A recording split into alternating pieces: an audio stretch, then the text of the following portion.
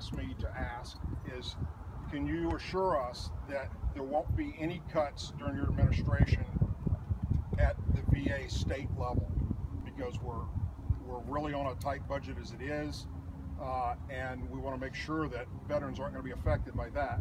The other section, or the other part of that question is, on the federal VA system, here in Louisiana, the VA is broken. We have a very, very bad situation.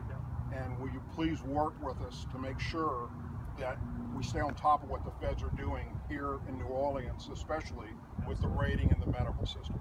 Well, the answer is absolutely and absolutely. And I've been doing that, of course, at the federal level, and I've been Yes. honored by y'all's work and your partnership. And we've made progress, although the federal VA is not fixed by a long Right. But we've gotten, you know, those community-based clinics unstuck